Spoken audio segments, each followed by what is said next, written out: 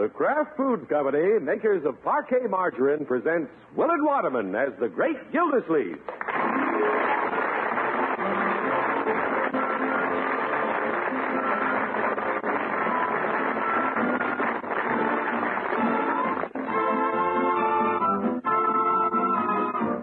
The Great Gildersleeve is brought to you, transcribed by the Kraft Foods Company. There are two treats in store for you tomorrow when you buy Kraft's Parkay Margarine. The whole family is sure to enjoy the appetizing taste of Parkay and the way it spreads smoothly even when ice cold. And this is extra. With every pound of Parkay you buy, you can order a pair of lovely nylon stockings, famous Powers model nylons, at half price. In just a few minutes, I'll have more to tell you about this sensational offer by Kraft Parkay Margarine.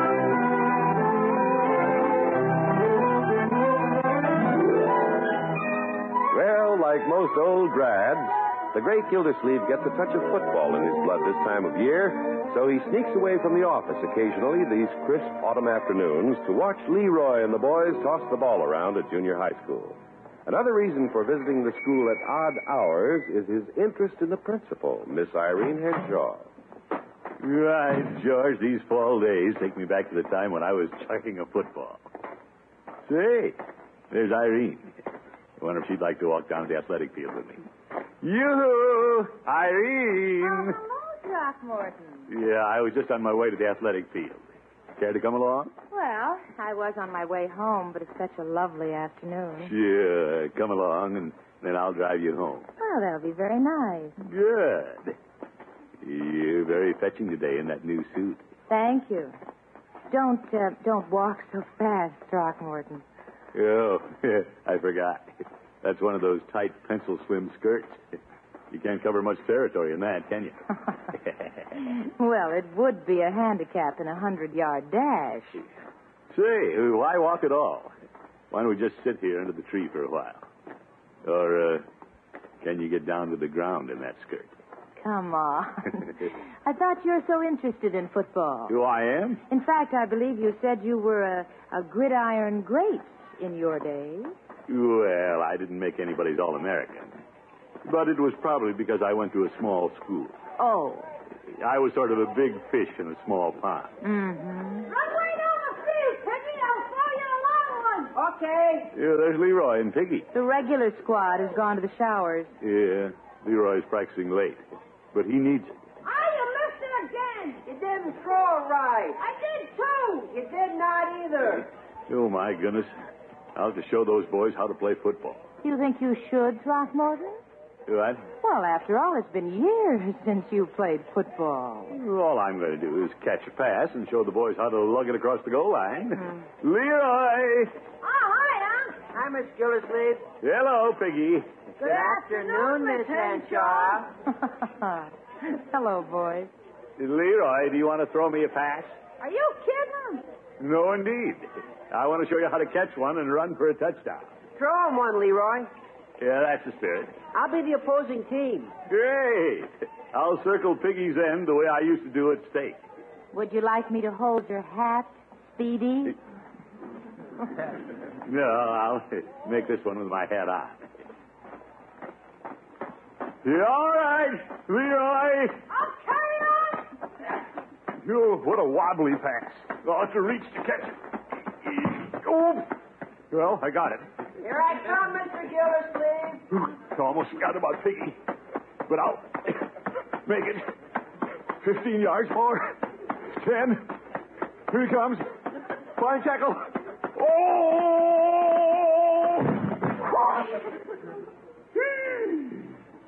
You didn't make it, Mr. Gildersleeve. I know, Piggy. Whee, hoss. Hey, Piggy, that was a keen tackle. Yeah, but I had a big target. yes, yes. Here's your hat, Unc. Oh, thank you. You dropped your wallet, and here's your pen, and your elf's tooth. Unc, you really fell apart.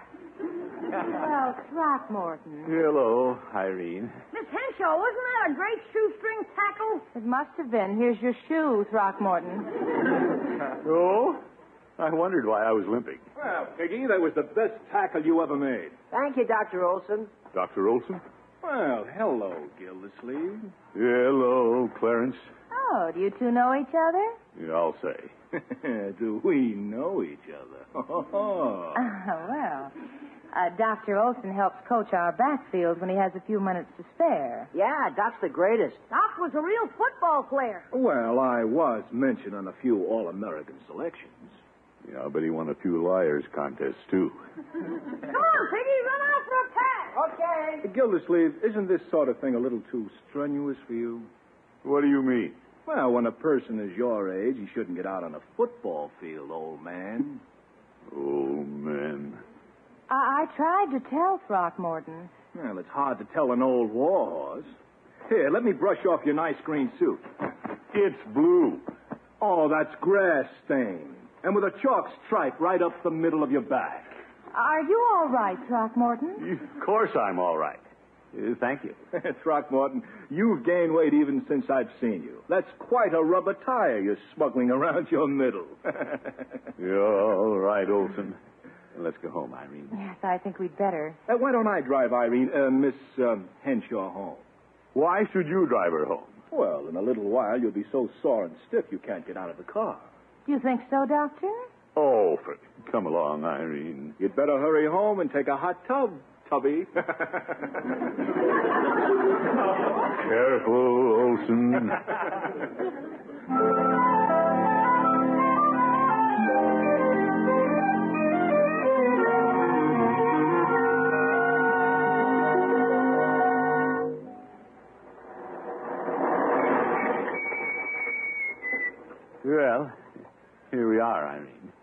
for driving me home, Throckmorton. You, wait a minute. I'll come around and help you out of the car. Oh! Maybe I'd better come around and help you out of the car. No, Irene. Are you sure you can walk? You, of course. My foot went to sleep. Way up to my neck. Well, I won't ask you in because I really think you'd better go home and have a hot bath. Now, stop worrying about what the doctor said. He isn't even a doctor. He's just an intern at the hospital.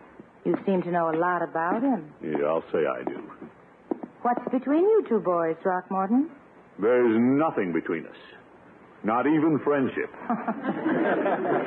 You know, I wondered why he kept needling you this afternoon after you took that awful spill. Yeah, he's probably jealous. Of what? Well, he wanted to bring you home, didn't he? Sit down a minute, Throckmorton, if you don't think you'll get chilled out here in the porch swing. Well, I won't if I sit real close to you. Well, It is that darn piggy. um, uh, about this uh, this jealousy you mentioned, it's so beautifully developed between you two. It must have been going on for some time. Well, every time I'm just about going steady with a girl, he shows up. Huh? Hmm. You mean you carry the ball to the goal line and he wants to make the touchdown? Yeah, and if he doesn't watch it, I'm going to kick him right between the goalposts. I take it that this uh, this rivalry dates back through quite a few girls. Oh, no, no, Irene. Now, don't get the wrong idea. Yeah, I'm not the fickle type. I'm a one-woman man. Well, I'm not thinking of you. I'm just wondering how sincere the doctor is. Well, that's another thing. Yeah, I remember when I was going with a nurse at the hospital. A nurse? Yeah, he tried to cut me out there. And when I was going with Paula Winthrop, he really got obnoxious. Paula Winthrop? Yeah, and then when he broke that up, he tried to beat my time with May Kelly. He's real fickle. Well, I've learned a lot. Well, you should know about him in case he asks you for a date. He has. He has? He asked me the first day he ever saw me. He did? Dr. Olson is a very persuasive man. You didn't give him a date, though, did you? Oh, I was tempted, but I didn't think I should on such short acquaintance. You're so right. Of course, I feel I know him better now. Hmm, he's moving in. Um, Irene, Yes? how about a date tomorrow night? All right. Do you think you'll feel like it after your exercise? Oh, I'll feel like it. I'm all right. Is a date then? It's a date. Excuse me, will you, Throckmorton, while I answer the phone? Yeah, well, I'll have to run along soon. Well, I'll only be a minute. Take your time. Hello? Oh, by George, a hot bath will feel good. Oh, hello, Dr. Olson. Olson, You calling already? All right, I'll call you Clarence then. Zeke, he's breathing down my neck.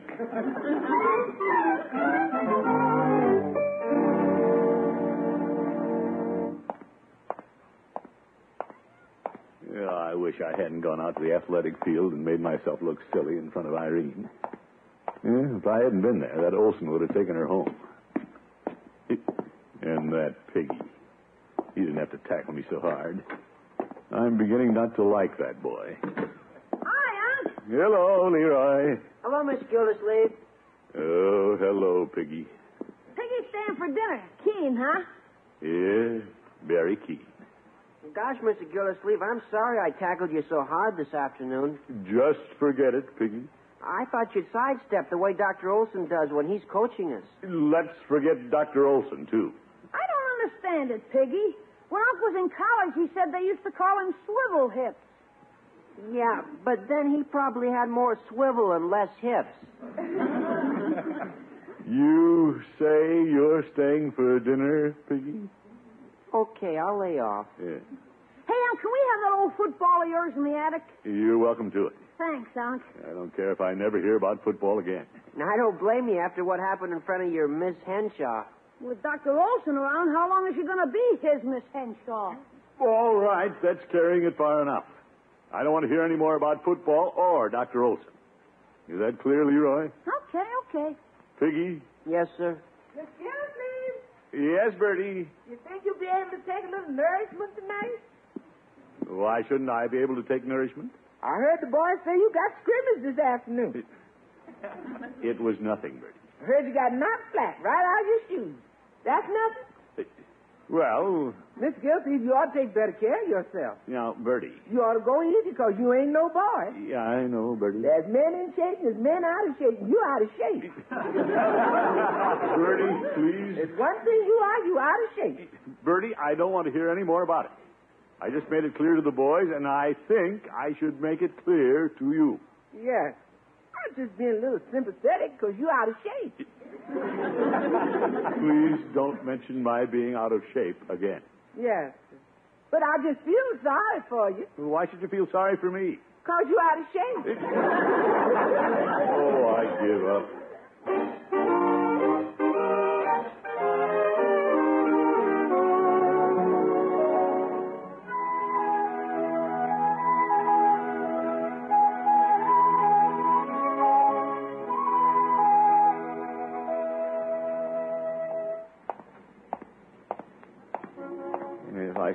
Peavey's and get a heating pad, it'll probably take the catch out of my back.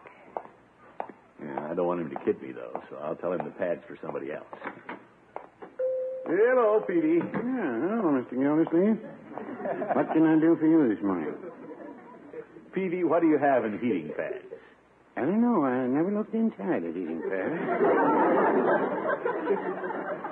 What? I imagine there's some rubber and a lot of wires in there. Peavey, you know what I mean. Yeah, why don't you say what you mean? I want to buy a heating pad. Uh, of course, it isn't for me, you understand. Oh, I didn't say it was. Well, I want to make that clear. There's no reason for me to buy a heating pad. Then you don't want it? Yes, I'll buy it. You don't have to buy it if you don't want it. I want it. Mr. Gildersleeve, you're blowing hot and cold in this heating bag. Oh, my goodness. That was a little witticism, Mr. Gildersleeve. Hot, cold, and heating pad. I get it, Pete. Not until you give me six fifty for it. Put it on my account. Well, well, one heating pad on one cold account. Well, you haven't bought much recently.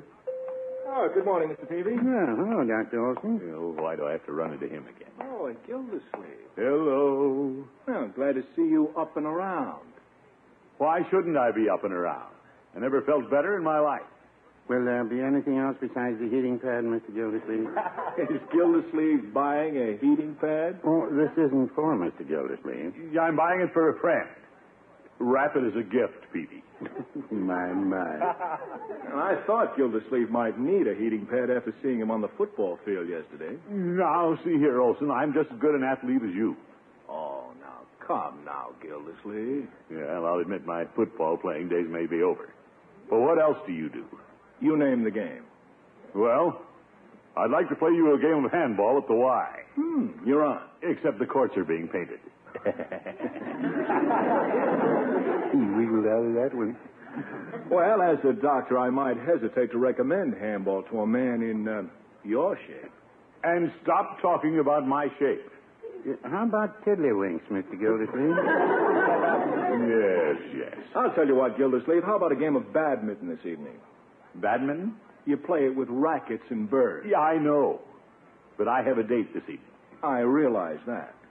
You do? Well, I asked Irene to play badminton, and she said she'd enjoy it, but she had a date with you. Why can't the three of us play? Well, Unless you're afraid I'll um, show you up. confound it, we'll play badminton.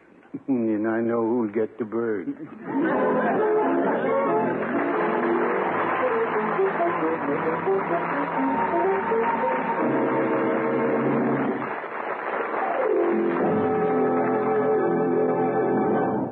Great Gildersleeve will be back in just a minute. Here's news for every woman who loves a bargain. Kraft's Parkay Margarine makes it possible for you to get beautiful Powers model nylon stockings at half price. These are lovely full fashion nylons, styled by John Robert Powers and worn by many of America's best dressed models. They're 51 gauge, 15 denier, and guaranteed first quality. A specially designed flexible top assures a smooth, perfect fit, and their tapered heel makes ankles look slimmer. They'd sell regularly at $1.50 a pair. But now you can get these famous Powers model nylons at half price, only 75 cents a pair. This is all you do. Buy a pound of Parkay margarine, tear off the yellow panel from the side of the package, and mail it to Kraft with 75 cents. This is just half the price you'd ordinarily pay for nylons like these. Complete instructions for ordering are given inside every Parkay package. You have a choice of six sizes a dark seam or self color seam, and either temptation or glamour, two of the season's smartest shades. Order as many pairs as you want, and each pair costs you only 75 cents when you enclose the yellow end flap from a pound of Kraft's Parkay, the margarine that spreads smoothly even when ice cold. You can begin building a luxurious wardrobe of Powers model nylons at half price tomorrow when you buy Kraft's Parkay margarine.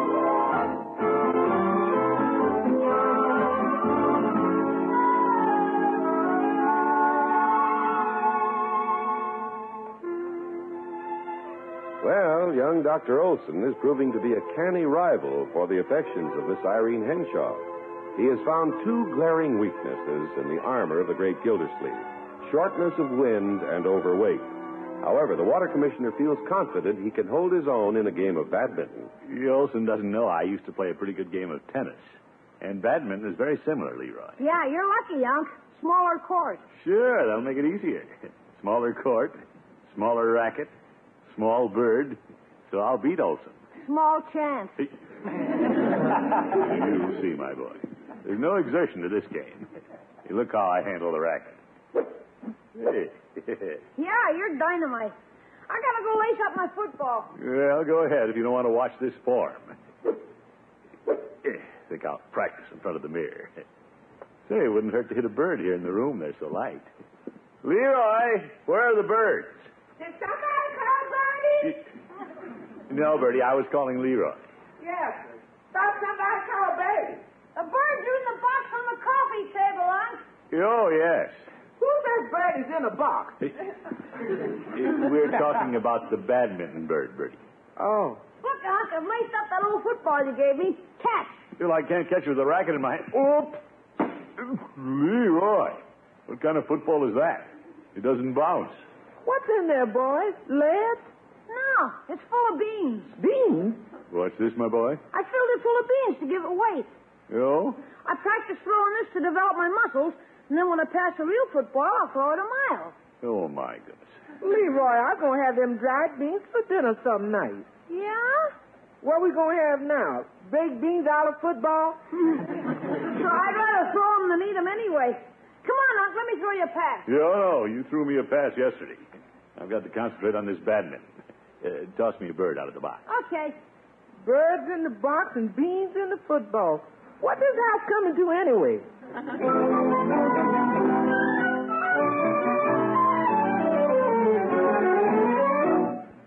I reserved the court for two hours, Gildersleeve. I hope that isn't too long for you. Not for me, Olson. Now, Irene, why don't I play you and Gildersleeve? Oh, brother, does he think he's good? Well, I've never played badminton, Clarence. I'll just watch you boys. All right. When my worthy opponent has had enough, I'll give you a lesson. Uh, take the other court, Gildersleeve, and we'll warm up. I'm warm. Yeah, I'll have the birds flying by him so fast you think a flock of geese went through the gymnasium. Shall we rally for service? What does that mean? Well, It means three times over the net, and the first one who misses loses the serve. Oh. Here we go. One. two. Three. Four. Oops. Throckmorton, you missed it. Yeah, I know. Now, as, as I understand it, Clarence serves. Yes, yes. Irene, you're catching onto this game in a hurry. Thank you. I'll bet if you came out with me a couple of nights a week and no time at all. we'd- Olson, you're served. Oh, yeah. You ready? Waiting. Yeah, that's an easy one. Now, watch out for this one. He's dropping right over the net. I'll have to run for it. Got it. That's a nice, that's a nice get, Gildersleeve. Hmm, Over my head. He's running me to death. Good, Throckmorton. I hate to do this to you, old man. Ooh. Zeke up to the net again. Oh. Yeah, didn't think I'd get it. Watch this shot, Irene. A beauty. Confounded, he lobbed it over my head. See, I'll show him. Zeke missed it. Winded. Well, Gildersleeve, are you going to play or just stand there holding up the wall? Yeah. Well, I do have a little Charlie horse, I guess. Well, you better sit down for a while. You did very well, Throckmorton. Sit down here by me. Yeah. Thank you, Irene. Now, Irene, you can't just sit there. Come out on the court and I'll teach you something about the game.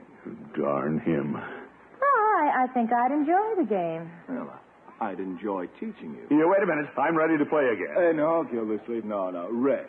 Doctor's orders. Oh, sure. Now, now, um, what do I do, Clarence? Well, first, Irene, I teach you how to hold the racket. Mm-hmm. I'll, um, I'll have to put my arms around you to show you the grip. Mm-hmm. What is he, a doctor or a Swedish masseuse? And that's the idea. Now relax while I show you how to swing. All right. How's your Charlie horse, Throckmorton? Great. I got a Charlie horse in my head for ever coming out here.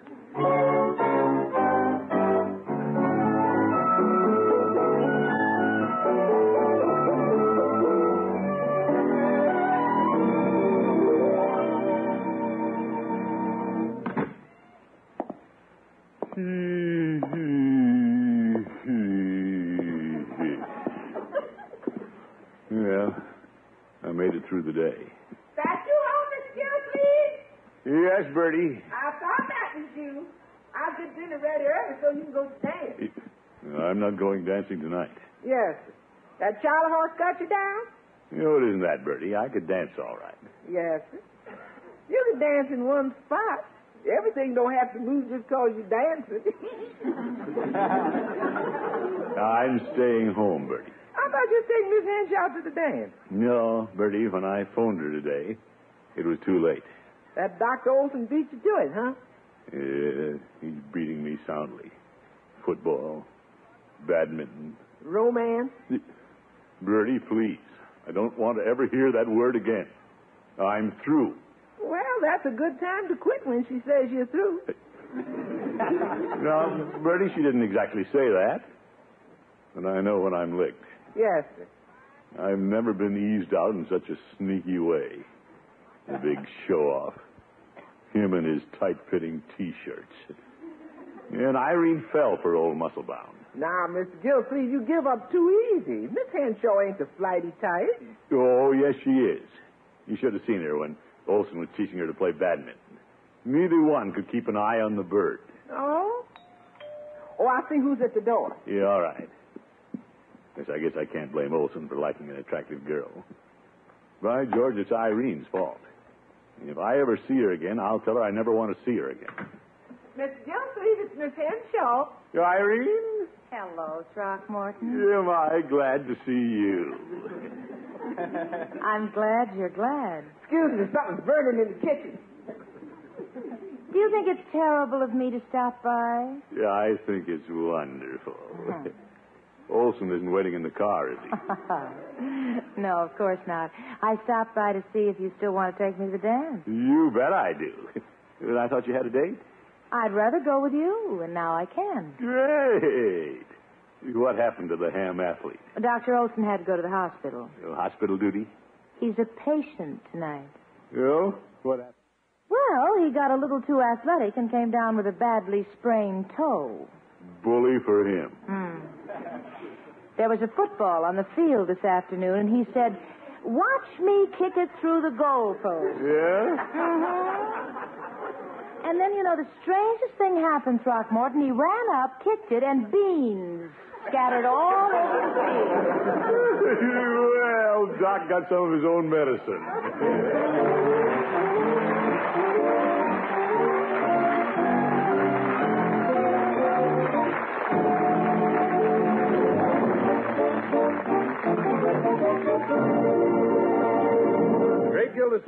With us again in just 30 seconds.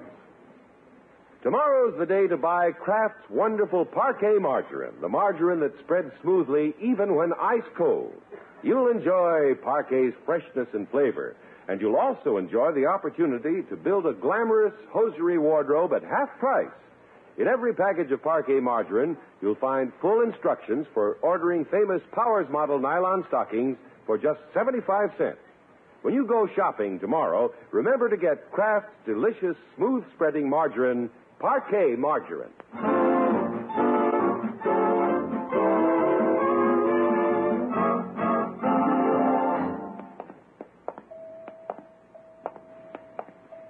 The nurse said Dr. Olson was in this room, Throckmorton. Good. Let's hurry and see him so we can be on our way to the dance. You know, it's very considerate of you to bring him a gift. Well, Irene, this is my way of forgiving him for ribbing me about my Charlie horse. You go in first. All right. Clarence. Come in. Oh, Irene, how nice of you to come see me. Hello, Clarence. How's the sprained toe? Oh, it's better. Uh, how did you ever get rid of that big fat waterfall? Oh, hello. I didn't see you. I know. Now, Clarence, that's no way to talk about a man who's bringing you a gift. A gift from Gildersleeve? Yes, Olson, on our way to the dance tonight. I wanted to give you my heating pad. Gildersleeve? Come along, Irene. Good night, folks.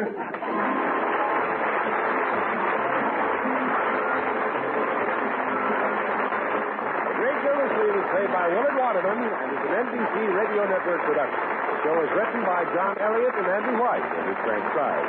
Included in the cast are Walter Tetley, Cathy Lewis, Lillian Randolph, Tommy Cook, Peter Leeds, and Dick LeGrand. Musical compositions by Jack. This is John Heaston saying goodnight for the Kraft Foods Company, makers of the famous line of Kraft quality food products. Be sure to listen in next week and every week for the further adventures of the great Gildersleeve.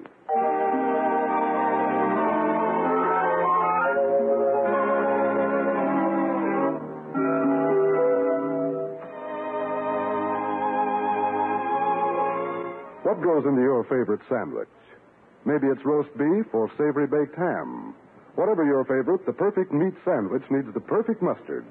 Kraft prepared mustard. For when you add a little mustard, you add a lot of tang. You can take your choice of two kinds of Kraft mustard. Mild Kraft mustard is smooth and delicately spiced, Or if you like your mustard with extra pep, try Kraft mustard with snappy horseradish added. Keep them both on hand and keep everyone in the family happy. Next time, get Kraft prepared mustard.